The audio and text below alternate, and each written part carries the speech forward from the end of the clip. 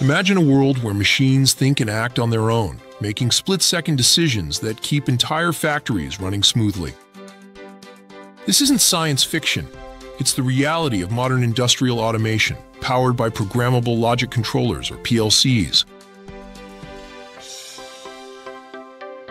Programmable logic controllers, or PLCs, are the backbone of modern industrial automation.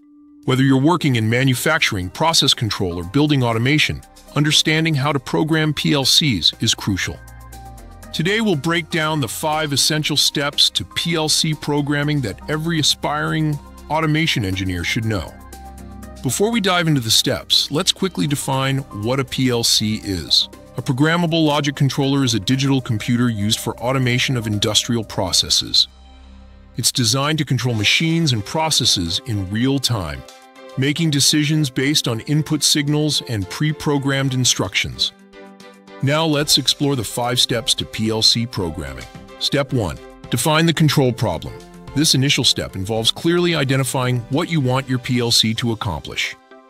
You need to understand the process or machine you're automating, including all inputs, outputs, and the desired behavior of the system.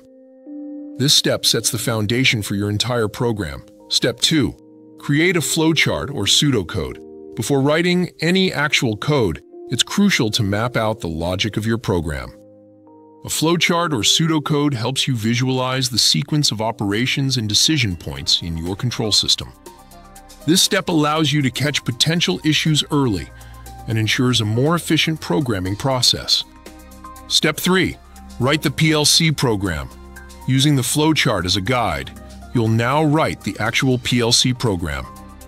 This typically involves using one of the IEC 61131-3 programming languages, such as ladder logic, function block diagram, or structured text. The choice of language often depends on the specific application and your personal preference. Step 4. Test and debug the program. Once your program is written, it's time to test it thoroughly. This involves simulating various input conditions and verifying that the outputs respond correctly. Debugging is a critical part of this step, where you identify and fix any logical errors or unexpected behaviors in your program. Step 5. Implement and monitor. The final step is to upload your program to the PLC and implement it in the actual system. This step also includes monitoring the program's performance in real-world conditions, making any necessary adjustments, and documenting the final program for future reference or troubleshooting. Mastering these five steps is essential for successful PLC programming. Each step builds upon the previous one, creating a systematic approach to developing reliable and efficient control systems. By following this process, you'll be well equipped to tackle a wide range of automation challenges in various industries. Remember, practice and hands-on experience are key to becoming proficient in PLC programming. Let's recap the five essential steps for PLC programming we've covered today. Step 1. Define the control problem. Clearly identify what you want your PLC to accomplish. Step 2. Create a flowchart or pseudocode. Map out the logic of your program before writing any code. Step 3. Write the PLC program using a suitable programming language like ladder logic or structured text.